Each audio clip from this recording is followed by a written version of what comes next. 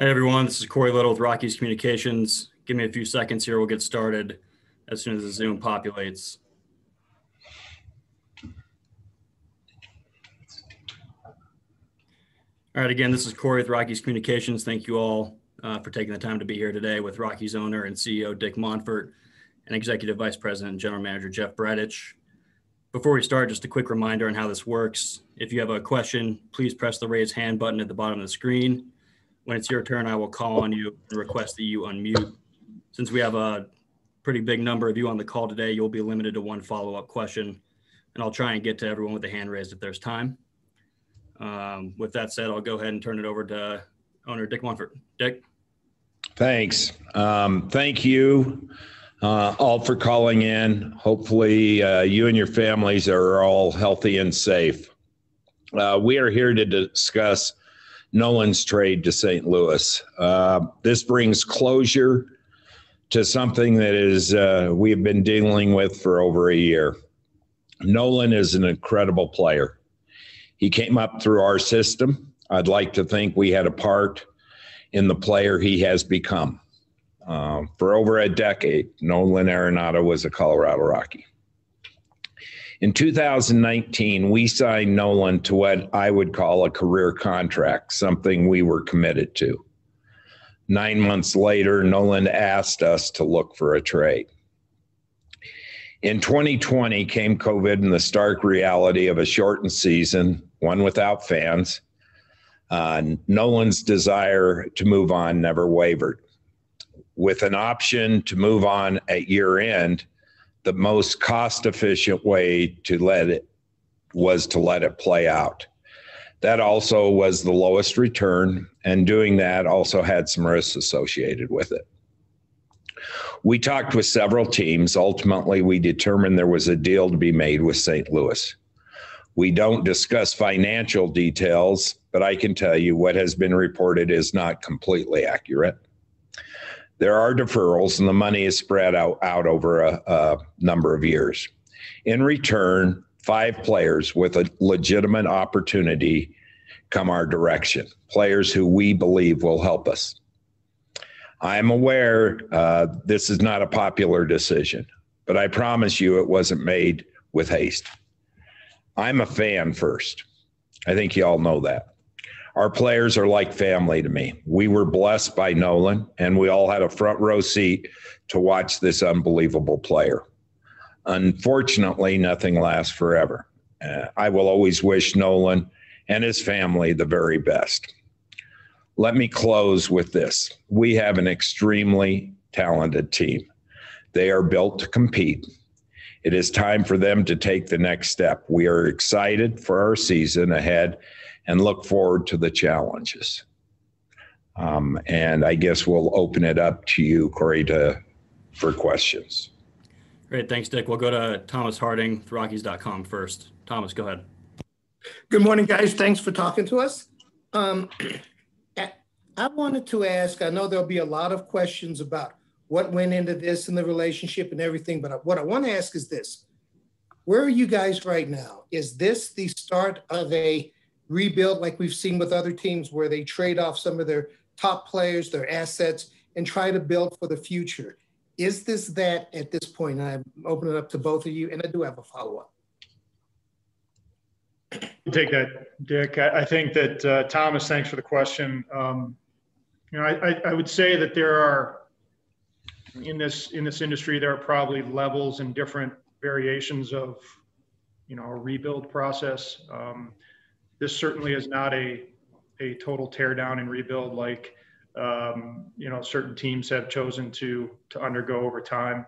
Uh, I, I, think if that were the case, uh, you know certain certain players uh, would have already been traded, right? Or we would have uh, we would have made serious overtures to to move certain players in an effort to completely tear down and start a complete rebuild. So no, I, I don't think that we don't think that that this is uh, this is the case for uh, for our situation right now.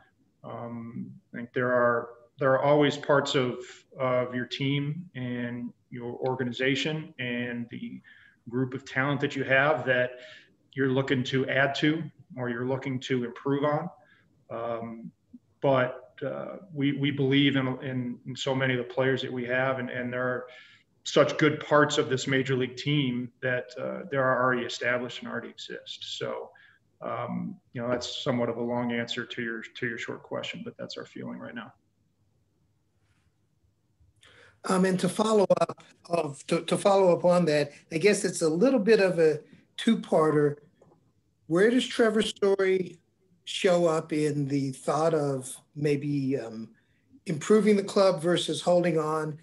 And can that decision be now or at the deadline? And I guess, and yeah, I'll just leave it at that, and I'll leave that to others after this. Well, Trevor, obviously, Trevor's uh, an elite, has become an elite player. Um, and uh, you know his his situation is is separate from um, from Nolan's situation as yeah, as is the case with the rest of our players. Uh, you know they uh, we we certainly um, cherish having Trevor as our shortstop, and it's very difficult uh, to answer your question directly. Very difficult to predict what the coming months um, is, you know, what they're going to look like in terms of the deadline in terms of this season in general. Uh, we are going to try to make the season happen, right? But we do not know what the pandemic and what the virus is going to do and, and how things are going to work out. So it's it's somewhat difficult to to predict because of a number of factors exactly how this is going to look um, for Trevor uh, in the near future and and for other players in the near future. So does he start the season with you? Can you say I, that right now? Yes, I think so. Yes. Mm-hmm. Thank you. we go to Patrick Saunders with the Denver Post. Patrick, go ahead. Guys, thanks for for talking to us. Really appreciate it. I know this is not a, an easy time for you guys. Uh, for both of you, my basic question is this. Uh, was this primarily a financial consideration as Dick, as Dick uh, mentioned in his opening statements? Or was it more that you had the sense that Nolan Arenado simply didn't want to be a Colorado Rocky anymore? Yeah, I mean, uh, you know, a year ago, uh, you know, we uh, we tried to find out whether there was a fit for Nolan quietly. That was Nolan's and our hope, um, and it got out. But uh, and we, you know, we shut it down because there wasn't anything that was a fit. Um, you know, if I had my brothers, I would rather have Nolan Arenado. Um, but it it was Nolan's choice. He he wanted to move on, and um, you know I I've speculated over the last year what why, um, and I've talked to Nolan a lot about it over the last year, but. The fact remains that I think he just felt it was time for him to to uh, try something else out. So, um, you know, that said, what do you do? Uh, I mentioned you can just wait and have him opt out at the end of the year and you get a draft choice, or you can talk some other teams and see if you can make a better deal. So, um, although there's some a lot of financial ramifications in this, I think the fact of the matter is we honored what Nolan wanted to do, and we made what we thought was the the the best thing we could do at the time. And, uh, you know, as I also mentioned, this didn't just all of a sudden happen. Uh, this took a lot of work. And uh, um, so um, I think these are the results of that. And if I could follow up with Jeff, and I'm not sure you're, going to want to answer this or not, but Nolan, in various ways, has told us, the media, his side of the story. And you know what those comments have been you have not to this point chosen to respond. Would you like to characterize your relationship with Nolan for us and for the Rockies fans? Well, I would say this. Um, you know, Nolan and I have known each other for over a decade. Um, I've known his family for over a decade. Um, there have been, you know, so many interactions over that time you know, starting with when we just drafted him, um, spring training, years of spring training with with his his parents coming down, and his uh, you know his brother and his cousins, and um, know on into times at Tulsa and when he was a minor leaguer, and you know I was a farm director, um, and and then as he became a big leaguer, and as he became an elite big leaguer, um, and um, you know I, I think that when you in this in this chair and in, in, in, this job when you recommend um, that we sign him to a quarter of a billion dollar contract. Um, that comes with an incredible amount of belief in that person. Um, you don't push for that sort of a commitment and that sort of a contract unless you believe in the person you believe in the talent you believe in the future of the organization with that player. Um, and you know but over time sometimes relationships change. And this is not an easy uh, necessarily an easy industry to to be in. You know people are competitive um, and and human beings change over time. Our feelings um, what's important to us um, and uh, you know and sometimes there are there are complications. And you know and uh, it's it's it's not always a straight line and it's not always simple and it's not always easy. Um, but I think my point is that at the base of all of this, this relationship was uh, a strong belief that I've always had in Nolan um, ever since I, I, first got to know him. Um, and so, you know, we wish him nothing but the best. Uh, we really do. I, we feel like he's he's going to do a great job for St. Louis. Um, you know, and and we hope that he and his family are, you know, no different than we always have even though that there have been some bumpy times in the past, uh, we wish him the best. Thanks, Jeff. Go to Nick Groke with the Athletic next. Nick, go ahead. Uh, yeah, for uh, both of you or either of you, um, you know, you you you sign him to an eight-year deal, and then and then nine months later, um, he's asking for a trade. For two two parts, what what was the instigating factor for him to want out so soon after signing the deal, and then from from your side, again, he was under contract. You didn't necessarily have to trade him. What was it that kicked you into agreeing to it, um, to, tr- to what he wanted in the way of a trade?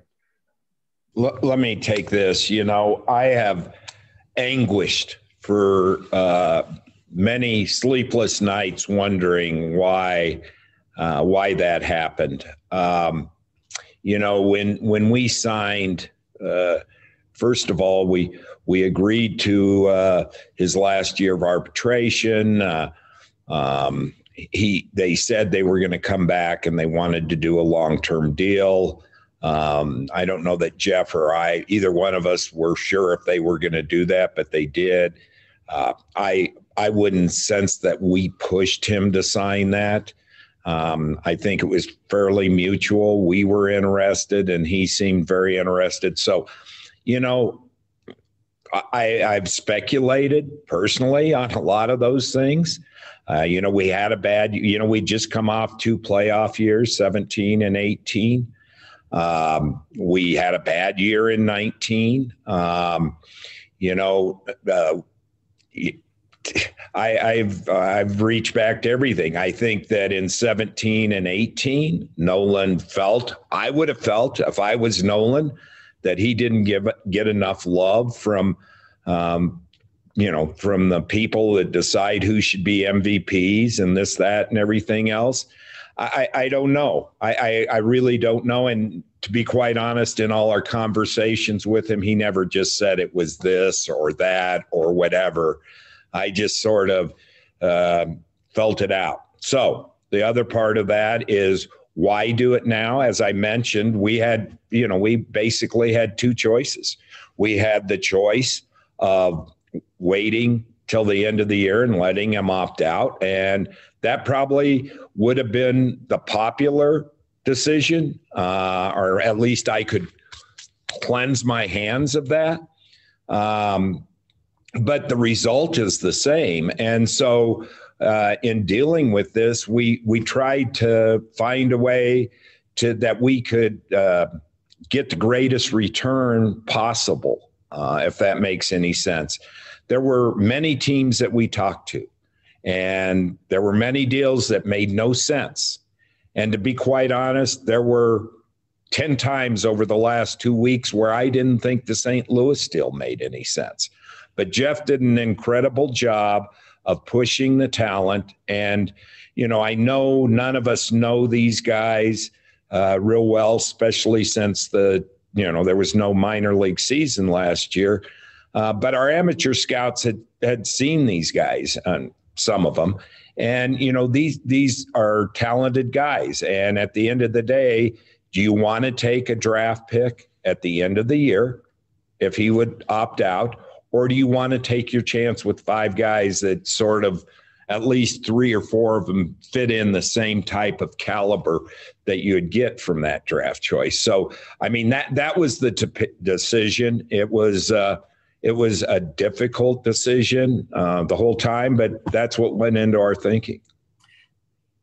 And and just to clarify, so you he, did he tell you that he would definitely opt out at the end of the year, and that's and that was the the fear he had told us he wanted to be traded, so our our assumption was that he would opt out. Yes. Thank you. We go to Pat Graham with the Associated Press. Pat, go ahead. Hey, thank you very much for taking the time. Uh, question for each of you, Jeff. I'm going to start with you. How hard was it to do this trail, knowing that do this trade, knowing that uh, you're going to be criticized no matter what, and uh, how hard is it to hear people just, I know, criticizing this deal right now?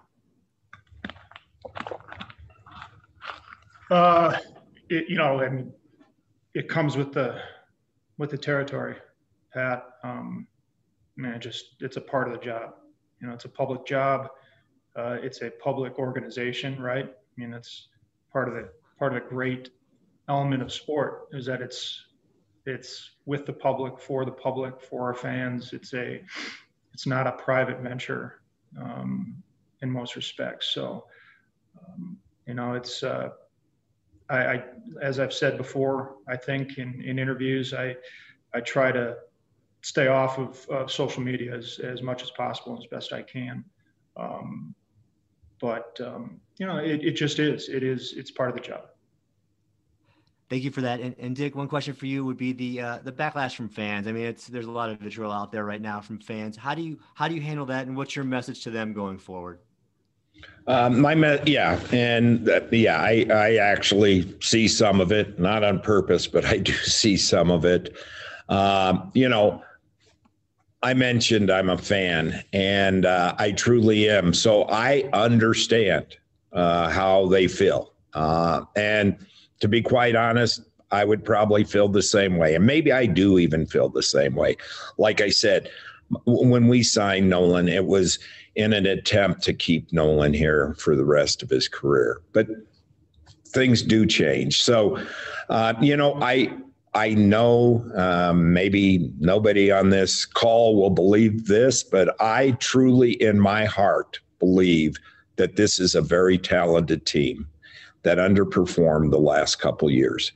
And you know, I'm not even going to count last year because it was um, it, was a difficult year but you know, I think we underperformed. So I believe, uh, you know, we're we're shorter talent than we were a year ago, but we've got a lot of guys that, to be quite honest, it's time to cut bait, and so.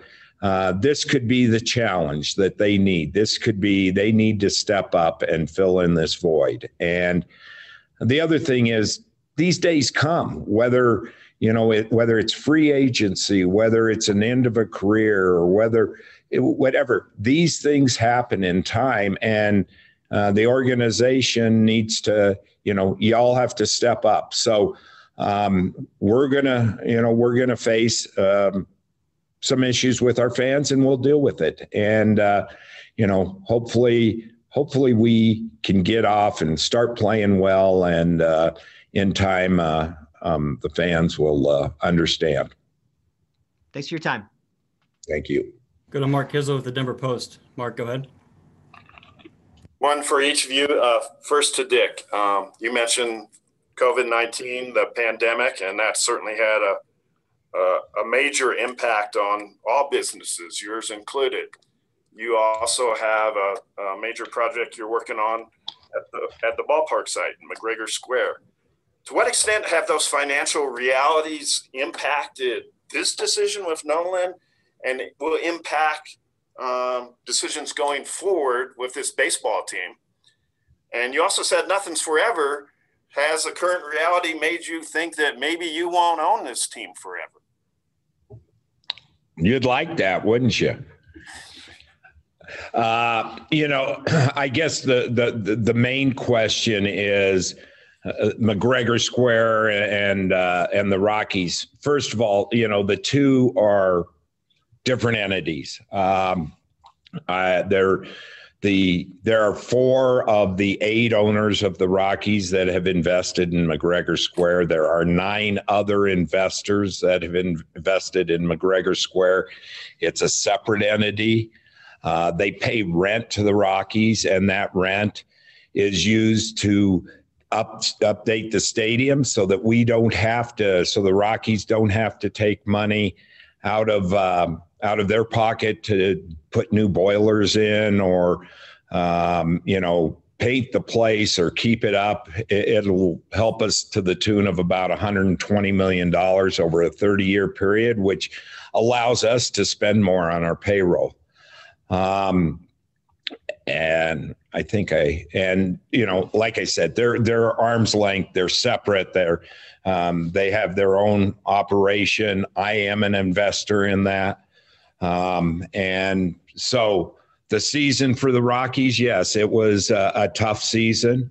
Uh, I think we uh, all teams um, had a had financial, you know, shortages last year, but I agree with you that we're not the only business that had that. The airlines, the hotels, the the restaurants, all those things have uh, been challenged. So uh, I don't think the decision to to do uh, this trade with Nolan, uh, yeah, there are some financial ramifications uh, going forward.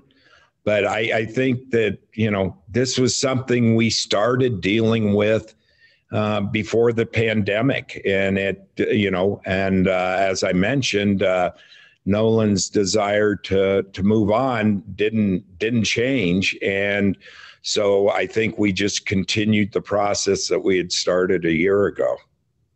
And uh, one for uh, Jeff. As you've clearly stated, I mean, quarter billion dollars is more money than most of us can comprehend. And in pro sports, that's the ultimate sign of respect. Do you think Nolan Arenado would still be a Colorado, Colorado Rocky if you had a better personal relationship with him outside of the money and you had done a better job of building a winning team in the last couple of years? Well, Mark, I mean, I think you're asking me to speak for Nolan directly.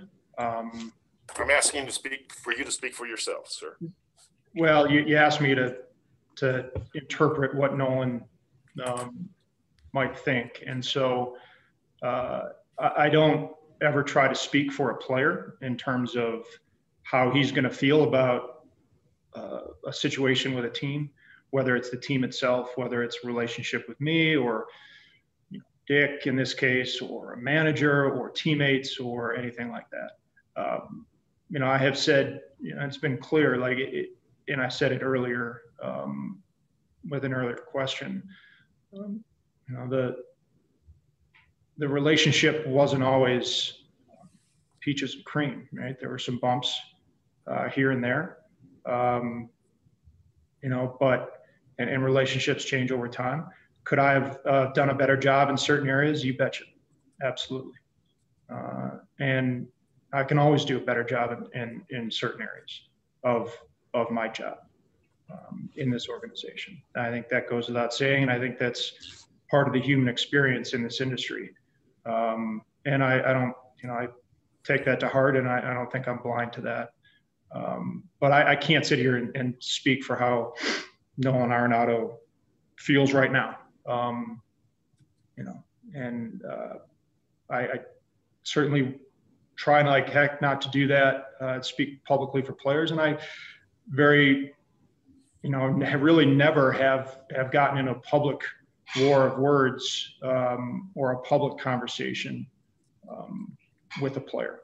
Uh, and so try to keep that those things uh, private and out of respect to everybody involved. Uh, and building the the the winner. I mean, because he was clearly upset as well as you two were with with losing 90 games. Uh, what responsibility do you take for that? Well, I take a ton of it. Right, that's my job. Um, you know, I think if uh, if you rewind, you know, Dick alluded to it. You know, we earlier we you know, we you know, 15 and 16 are are building towards what we feel like uh, our competitive playoff teams. Uh, 17 and 18, um, some of those feelings are realized and beliefs are realized with the playoffs, and um, fully expected that you know we we would continue to take steps towards uh, you know even more playoff success. 19 uh, didn't work out. We had a, a, a fine first half in 2019, and we're what five or six games over, and then we really struggled in the second half, and it didn't work out for us in the second half at all. Um, last year, yeah, like you know, like everybody knows, right? Pandemic, there are complications, there were a lot of social issues, but you know, every team in sports was um, interacting with that, and that was the reality for every team. So, uh, you know, we we certainly jumped out of the gate last year and started real well, and then struggled in the second half. Um, so that's a pattern that that we would certainly like to change. Uh, but it, it, hasn't just all been struggle all the time. There's been some really good play and, and, and good talent that's led to good, some good things. It just hasn't been as consistent, um, you know, as we've wanted over the last few years that have led us to the playoffs. Go to Michael Spencer with CBS 4 next. Michael, go ahead.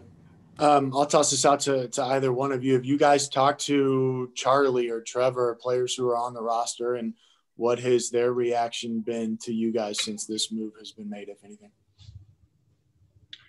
I'll take that first. I, I, yeah, we've talked not since the trade. I mean, the trade just happened. So, um, but we've we've talked over time. You know, over the winter time, you uh, you talk here and there, whether it's in person, uh, over the phone, over text, um, with and through agents. Uh, all those things have happened uh, as they normally do in a, in a, in a normal off season. Uh, but there hasn't, you know, since since the actual trade happened and um, and to now, here we are in the Zoom, we, we have not spoken yet. Dick, as a follow up, um, the last two years, and you kind of touched on this, but obviously the winning percentage is down. Um, some of the free agent signings haven't worked out. DJ leaves and becomes an MVP candidate in New York. So, what gives you that confidence that this team is is headed in the right direction and that the people in charge are are the right people to get this team? Yeah, you know, I think uh, in in hindsight, uh, you know, losing DJ was a big deal, and um, you know, in hindsight, you know, I wish we could have figured out a way uh, to keep DJ. And you know, DJ is a great guy and and somebody that always played with a chip on his shoulder. And uh, you know, the Cubs paid for that every time they played against uh, against us. So in hindsight, yeah, that we we wish that uh, we could re, redo that. Um, the confidence in in in me is that you know, for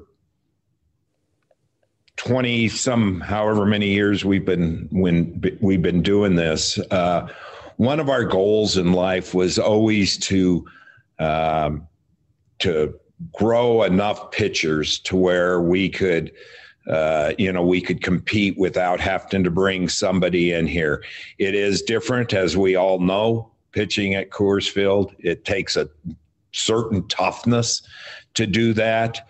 Uh, it's it's not only uh, it's not only a hitter's park, but it's uh, you know we're playing at an altitude that these guys don't live at all year. So my biggest uh, belief is that we have built uh, pitching, uh, and we've done it internally.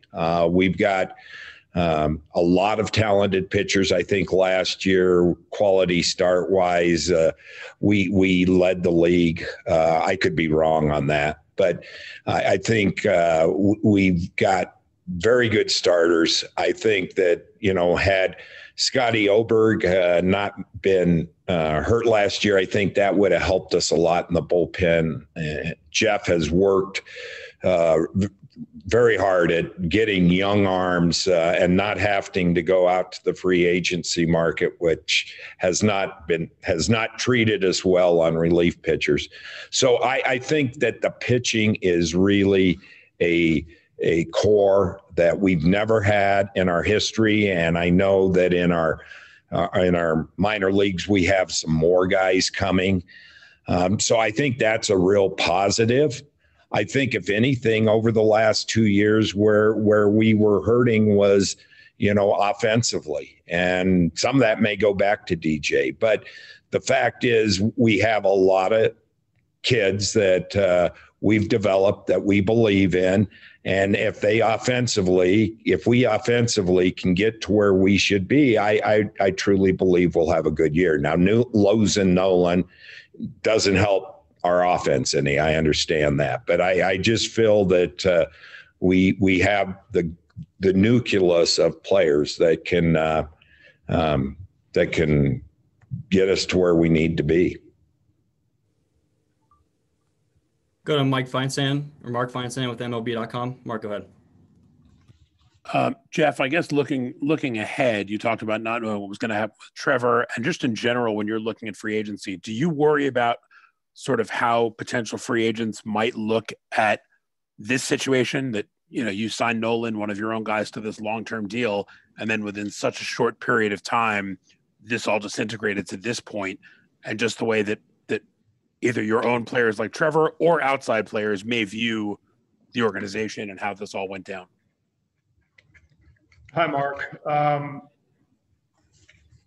yeah, I, you know, we it's an individual sort of thing, I, I think, to, to, the question that you're asking, right? And, and um, you know, that's where conversations come in. And, um, you know, you, you specifically asked about free agents, but that's where conversations with agents and conversations a lot of time with uh, the players themselves, you know, that we try to do that. And, um, you know before there's if there's true interest in a situation um, you know that's where you, you have an opportunity to try to explain the vision um, and explain the reality that goes along with that vision um, and explain the organization and what the organization's about so uh, you know it's a but that's an individual thing that that we take seriously and i take seriously in terms of um, you know, the, the, conversations that we have with free agents if they have interest in our, in our, in our work.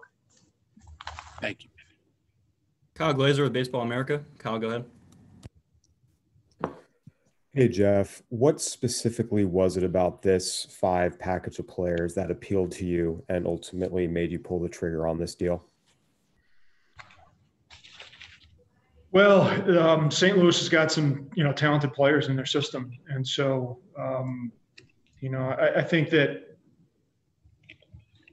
the unfortunate lack of, of minor league baseball this past year, uh, you know, does create complications when you're when you're looking for updated information, right? Now, the most recent information, the most recent data, the most recent scouting reports, um, you know, it's it, it's a little bit more of a challenge right now just because uh, of the pandemic and how it's affected our industry as a whole. Um, but when you go back and you look at you know some of these guys um, and their history and, and, the way that we evaluated them when they were amateurs um, there was a lot of positive thought about all these guys. Um, certainly austin gomber has major league experience and he's got major league performance um, that you know warranted serious consideration. And and we look forward to really look forward i talked to him last night we look forward to having him um, you know be a part of our major league team. And we feel like it's a great opportunity for him and he can add a lot um, in whatever role he ends up helping us uh, in terms of the, the minor league guys you know montero uh, strong corner bat power uh, 22 years old um, a lot of upside right interrupted development. uh, because of last year. Uh, Mateo Gil, Tony Locey, Jake Sommers, you know, all those guys were recently drafted within the last two to three years. And, uh, and so we had a lot of amateur looks at them. Um, they're, you know, they've had limited professional experience because of, of the realities of 2020. Um, but, uh, you know, we felt really positive uh, going back to their amateur days about who they were, how they competed, what they were about, and, and obviously their upside and their potential to become quality major leaguers. To follow up, was there one player in particular whose inclusion really pushed it over the finish line? Uh, no, no, I think in this case it was a combination of players. Thank you. Sean Keeler with the Denver Post. Sean, go ahead. Thanks for the time, gentlemen. A question for Jeff and a follow up for Dick, if I could. Uh, Jeff, first to you. There have been published and unpublished anonymous reports of former players questioning the culture, questioning the commitment to winning, questioning a lot of commitments, period, from the organization, from a baseball and from, from, from a financial standpoint. You've addressed some of this today and some of the realities that everybody faces. Jeff, I'm just curious knowing we can't name names of people who have said things, but when people say to you, this is a stepping stone clubhouse and a stepping stone organization, I've got to go somewhere else to win. What do you say to players who say that within themselves and to other former players?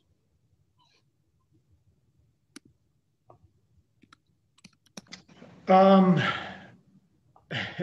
it's it's uh, it's difficult to um, you know to directly address um, as, as you just said, anonymous um, and somewhat generalized uh, reports about this. But, uh, you know, look, I, this, uh, this is a, uh, an organization that has recently, you know, tasted the success of playoffs. Did we get as far in those playoffs in 17 and 18 as we wanted to? Um, no. You know, we certainly strive for, um, for World Series participation and uh, you know, but you know, it is a it is a challenge that that I think a lot of teams face, whether it's in this industry or other sports industries. Um, you know, being World Series or high level playoff competitive every single year, year in and year out. Um, it is the goal of the organization. It's a goal of the fans. So many of our fans want the same thing. Uh, it's a goal of the players um, you know, making it a, a, reality year in and year out, year after year after year is is is more complicated and more nuanced. And so, uh, I, I, guess that's the best answer that I can give you right now to that question. Thank you, uh, Dick. Dick, you mentioned being a fan, having it feeling hurting you too, as it does a lot of people here over the last few days.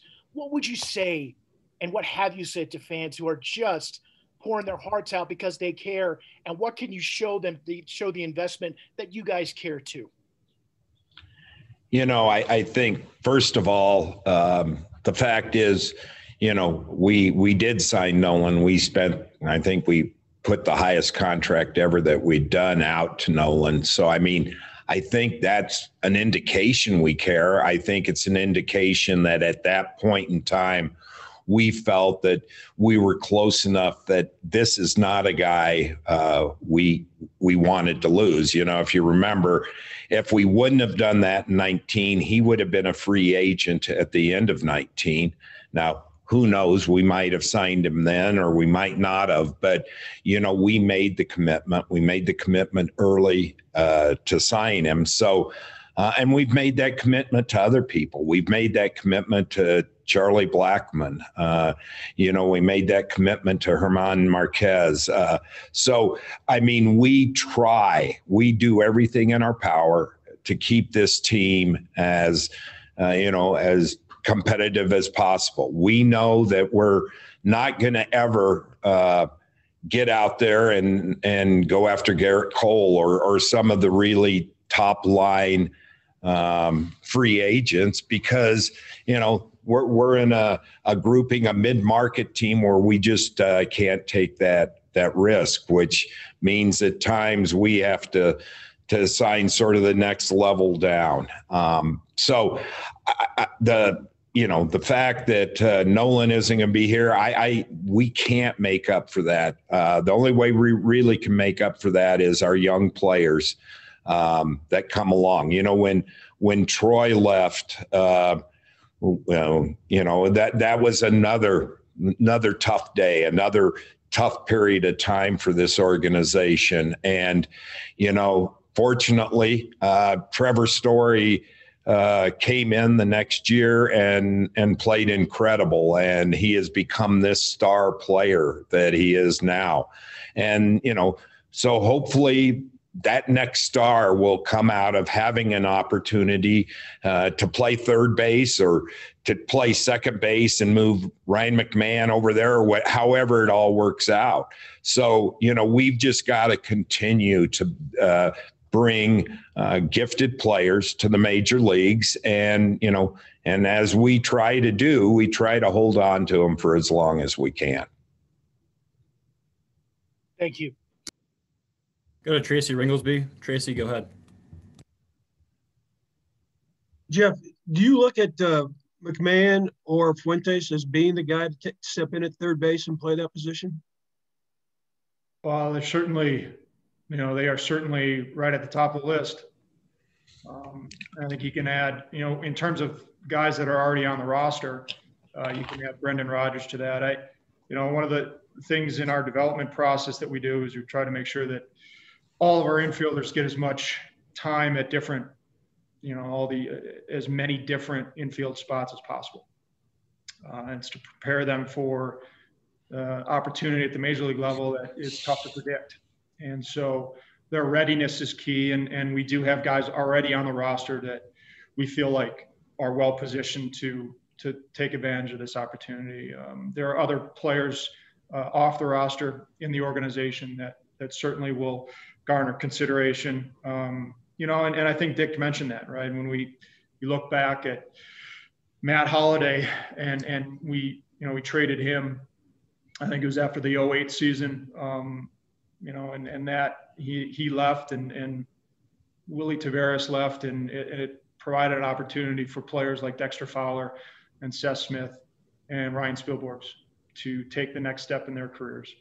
Um, you know, Dick mentioned when we, we traded Troy, um, you know, we, I think we were fortunate at that time that, that Trevor Story was um, positioned well to take advantage of that. You know, he had already done certain things at the AAA level at a high level and uh, we didn't know that he was going to, you know, shoot out of the gate like he did, and uh, at the major league level right away, right? I mean, that's a that's another thing that's that's difficult to necessarily predict, and it's really difficult to do what he did at that time. Um, step into the big leagues and, and really not miss a beat at all, um, or struggle struggle at all. Um, you know, and so now there's an opportunity for other kids and other guys to take that next step in their career. And, um, you know, we're confident that, that we have talented guys and, and it's, you know, now it's up, up to them to, to grab hold of the opportunity and run with it. Mark Carig from the Athletic. Go ahead, Mark. Hey, this one's for Jeff. I, you know, I realize like it, it's hard to speak the chatter, so I just thought I'd lay out a couple of facts here. The team hasn't won the division. Um, you've misread the true talent uh, the last two years of your team. Now, the best player in baseball, who you lavished a giant extension upon, is no longer playing for your team. So, how is there any other way to see that uh, as anything but an organizational failure at this point? Sorry, Mark, you, you cut out in the middle there. Um, yeah, I, yeah. Like, look, you know, Nolan Arenado is no longer playing for you, and there are a lot of reasons for that. But at the end of the day, he's no longer playing for your team. So, is there any other way to see that as anything but an organizational failure? Because he's no longer there, and as you guys have said, he's a great player. So, is that on the organization? And if so, what insights can you take? Because that seems like a major, major problem. Yeah, look, I mean, if if if if we're look if we're looking to pass blame, I mean, you can blame me, right? I, I it's the job of the GM to uh, create a team that uh, that competes and wins uh, as much as, as humanly possible. Um, you know, but I, I, think the the word human there is is an important one. Um, you know, I, there are there are relationships in our human existence that uh, do last forever. Um, but we are human beings in a business where sometimes relationships don't last forever and commitments don't last forever. And you know, it's not just endemic to this particular sport, baseball. It's it's all over sports, um, where where sometimes it's best for, you know, in this case, Nolan's you know desired to move and um, and be with a different organization, and and so we, you know, we honored that. We tried to honor that and listen to him. Um, you know, but you know, if, if, if you're looking to to parse out blame, I mean, you can throw throw the blame right on me. That's that's part of the role. That's part of the job. Okay, and, and just to follow up then, like, is, is this a one-off case of a relationship gone soured with, with a disgruntled player? Or is this an indication of your leadership and how you treat people? Because this club has traded people before. And then also, um, you know, you guys haven't won a division. And the last two years, you thought the team was at a certain talent level, and it wasn't.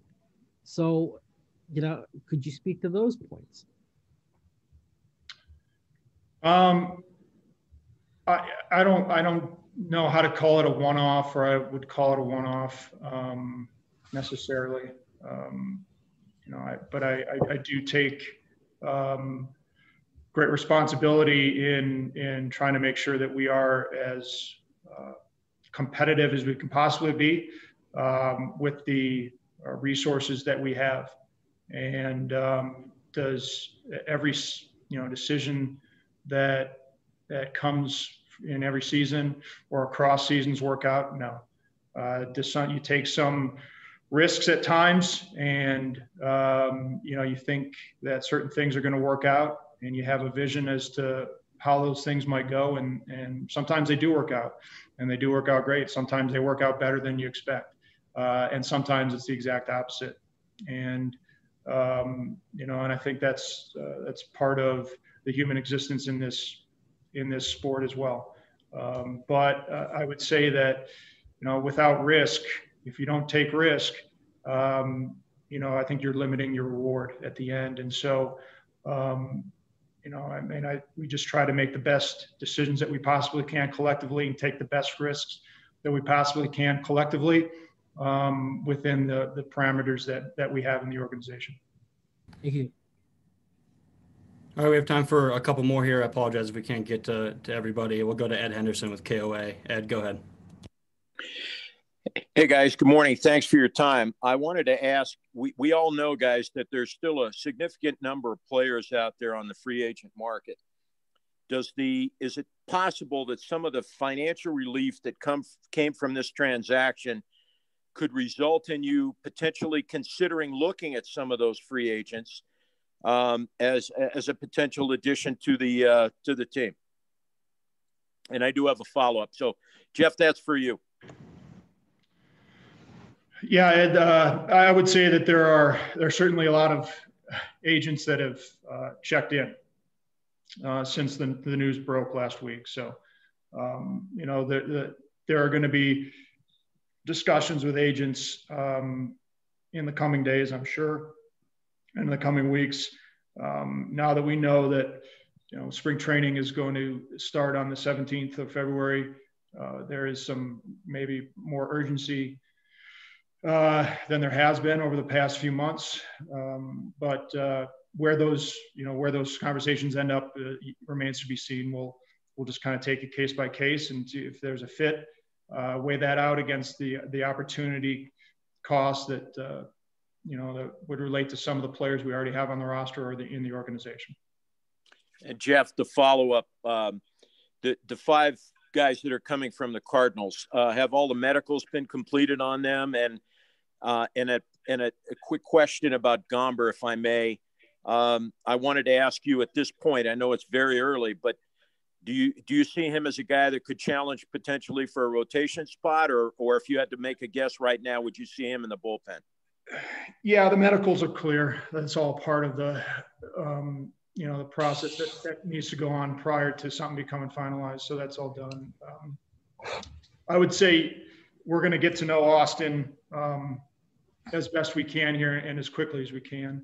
Uh, I think he's, you know, I speaking to him last night, he's going to certainly prepare himself as a starter here coming into spring training. Um, but there's, you know, there's a lot of conversation and, and relationship building, you know, especially with, with he and our, our pitching coaches and, and Buddy. Um, and we'll, we'll just take some time to evaluate all of that uh, in terms of his role before we make a final decision. Thanks, Jeff. Go to Jacob Toby with Nine News. Jacob, go ahead. Yeah, um, this one's for Jeff. Jeff, I, I think a lot of the time when these big trades happen, fan bases and media members look to pinpoint like a blue chip guy coming back to to sort of look forward to. Do you see someone, one of the five, in, in this package, or is it more just you're hoping for for a grouping of them to to to come up and and sort of you know um, make a make an impact? Yeah, I would I would say they all have a, uh, you know, Gomber obviously has already you know, been at the major league level and, and established himself in certain ways and performance wise at the major league level. So I think his so far, I mean, there's a lot of upside there too, right? Um, but so far, his his track record speaks for itself. Uh, the other guys we feel like have, you know, the four four others have a legitimate chance to um, to impact us at the major league level. They're just they're young players still, and so um, with interrupted developments and because of, of the lack of a 2020 minor league season, and so we um, you know we we feel really good about collectively their opportunity to um, to hit our major leagues, uh, you know, hit the major leagues with us at some point here. It's tough to know the timeline, uh, and and it's tough to see exactly where and how minor league baseball is going to be played, uh, even moving forward here. So I think we have to reserve some of those, um, you know, comments and, and looks until uh, their development process starts up again. Okay. Time for a couple more. Drew Creasman, go ahead, please. All right. Thanks, guys, for taking the time. Uh, I was going to ask this of both of you, but I feel like it was more or less asked of Jeff already. So, Dick, I just wanted to ask you know, you had mentioned – uh, the DJ LeMahieu situation. I remember at the uh, end of season gathering we all had in 2019, you had talked about some other things at the deadline, didn't get into details. And I was just wondering if you could elaborate on your role in making those kinds of baseball decisions and if it's evolved at all over the last couple of years as some of these things you've admitted like you said I, I wish we could have done that differently if there's anything that that's changed or evolved and especially now after this nolan thing about your role in terms of making baseball decisions? Yeah i, I hope not. Uh, you know i um, i'm a fan so i you know i communicate with jeff a lot. Uh, we talk about different players. Uh, you know i'm a homer. I love all all the the players that uh, come up through our system. So i'm always uh, you know, I always hate to to get rid of any of them. Um, but no, I, I don't think so. And you know, the DJ uh, that that comment was more just looking backwards. You know, uh, I know that uh, you know DJ wanted to stay a Rocky. Um, you know, his his agent said that. Um, you know, at the time he was looking for a long term deal, and I remember uh, uh, Hal Steinbrenner asked me at a meeting, he said, uh, uh, what do you got on DJ LeMahieu? And I said, he's a great player and a great guy. And I said, I see that you're going to use him as a utility guy and play him every once in a while. I said, that ain't going to fly with DJ. So, um, you know, I, I, was looking at that more in retrospect. So, um, but no, I, I, I, don't really get involved. Jeff and I talk a lot. Uh, I, you know, I, uh, uh, you know, I, I know I go to every game here, so it seems like all the time I'm telling Jeff, well, I know he hits well here, but I, I try not to get in the, uh, in the decision process. The Nolan deal was a little different um, because, uh, you know, it was a large contract. Uh, it was, uh, it was, you know, it, it, it took me, um, sort of trying to figure out with Jeff money wise. You know, this deal started off at, you know, just basically that every team thought we were trying to dump him, and that was not the case. And so, uh, when you got a combination of of money and uh, players, you know, it, it took a little coordination. But no, I try I try not to to get involved in that. Thank you. We have time for two more. Woody Paige with the, the Gazette. Go ahead. Dick, uh, based on uh, the performance of your general manager prior to the couple of years you were in the playoffs and since then, did you decide or think about deciding whether or not he should be fired? Considering the acquisitions of free agents here, those relief pitchers that you obtained years ago for $105 million, the fact that your minor league system is considered among all experts of baseball, even though they're in the media, to be one of the worst three in baseball draft and development team. And his relationship with not only Nolan, but with other players, did you consider firing him? And why didn't you? And also, why haven't you considered firing yourself? You're the owner of the team as the president of the team and bringing in an experienced uh, baseball uh, executive, which has never been done here in the history of the Rockies, where a former general manager or a former vice president of a franchise has been brought in. That's my question. No follow up. Uh, did you say no? No uh, general managers been ever been brought from the outside? That's that's correct as a general manager here or executive? Like Dan O'Dowd? He was not a general manager before he came in. Oh, I got you. Okay. Um, so the answer to all those are no. Um, you know, I, I like to, uh, I, I, look at the same publications about um, all the um, minor league uh, teams and, uh, you know, I, I Trevor Story was never in the top 100. Charlie Blackmon was never in the top 100. You know, one of our issues in Colorado, to be quite honest, is we really don't, uh, you know, for whatever reason, maybe it's because uh, they're not going to rank pitchers or, uh, or because they know they're going to have to pitcher. I don't know. I don't think. Uh, so I, I've, I've been taught over time to not pay attention to that. I see our farm system. I see the, the, what we go through to draft players. I see our development people. I go to all our minor league teams. I see the work and effort that we put into all of this. Um, so I, I guess uh, uh if I can, I'll, I'll disagree with uh, some of those comments. But no, I, I have not thought about firing Jeff. I have thought about firing myself, but I have not thought of, about firing Jeff. All right, we'll go to Vic Lombardi with the last question. I apologize for everyone that uh, I wasn't able to get to, but Vic, go ahead. Hey guys, I think we all knew the the trade would become inevitable. I think what Rockies fans and most of us, when we found out that you were sending all that money to St. Louis, does it make sense if you knew Nolan would opt out to keep him for six more months and save that money? I mean, can you explain the business side of that? Yeah, I, I thought I did, but I'll go over it again. Yeah. I mean, uh, if if we had played it out, let Nolan opt out, we would have paid Nolan 35 million this year, and we would have got one draft pick at the end of the year. And it, I, I Jeff can tell you what number, somewhere in the 30s, I, I would guess. So that's what we would have got. Uh, so what we what we ended up doing was we deferred some money, we paid him some money over time, and we were able to pick up five players.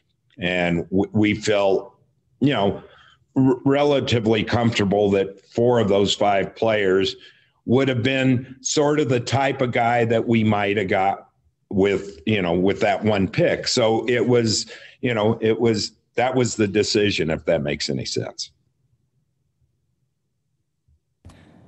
All right, that's all the time we have. Again, apologize for anyone I wasn't able to get to. Jeff and Dick, thank you so much for taking the time, and thank you everyone for hopping on. Have a great day.